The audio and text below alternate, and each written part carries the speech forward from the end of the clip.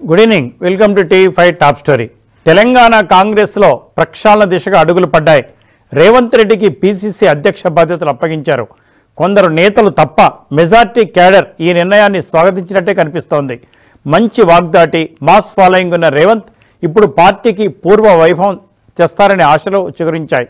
దశాబ్దాలుగా కాంగ్రెస్లోనే ఉన్న వాళ్ళను కాదని మరి హైకమాండ్ రేవంత్ వైపు మొగ్గు చూపిందంటేనే పార్టీలో పరిస్థితులు ఎంత అస్తవ్యస్తంగా ఉన్నాయో అర్థం చేసుకోవచ్చు.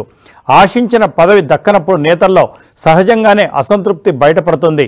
కానీ ఏకంగా పీసీసీ పదవినే అమ్ముకున్నారంటూ నల్గొండ జిల్లా ముఖ్య నేత ఆరోపించడం ద్వారా ఆయనే కొన్ని ప్రశ్నలు ఎదుర్కోవాల్సి వస్తోంది.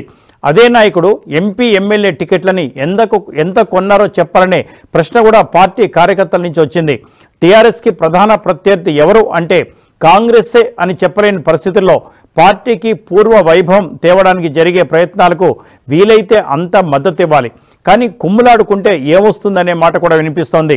అటు అసంతృప్తి నేతలను కూడా కలుపుకొని వెళ్ళేందుకు రేవంత్ రెడ్డి తొలి రోజు నుంచే ప్రయత్నం చేస్తూనే ఉన్నారు.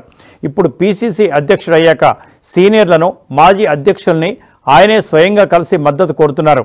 జానారెడ్డి లాంటి సీనియర్లు మొదలు విహెచ్ వరకు అందరినీ తానే వెళ్ళి కలుస్తున్నారు. కాంగ్రెస్కు తిరిగి గాడిన పెట్టేందుకు ప్రయత్నం చేస్తున్నారు. కానీ పార్టీలోనే ఉంటూ పార్టీలో పదవులు పొంది ఇప్పుడు అధ్యక్షుడిని విమర్శిస్తున్న వాళ్ళు ఆ మాటలు వింటారా? టీఆర్ఎస్ బి టీమ్గా పేర్కొన్న వాళ్ళు పంధా మార్చుకుంటారా? ఇప్పటికైతే ఇవన్నీ సమాధానం లేని ప్రశ్నలే.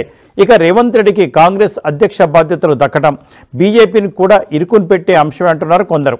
తెలంగాణలో టీఆర్ఎస్కి ప్రత్యామ్నాయం ఎవరు అనే ప్రశ్న వచ్చినప్పుడు చుక్కాని లేని నావలా మారిన కాంగ్రెస్ కంటే బీజేపీ బెటర్ అనే చర్చ జరిగింది.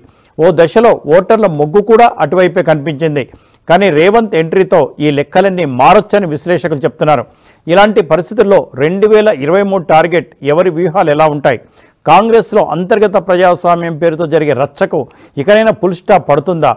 రాహుల్ గాంధీ ఎందుకు అంతగా రేవంత్కి ప్రాధాన్యం ఇచ్చారు? ఆ తరహా భరోసా మిగతా సీనియర్లు ఎందుకు ఇవ్వలేకపోయారు? చర్చిద్దాం. ఇవన్నీ టాప్ స్టోరీలో.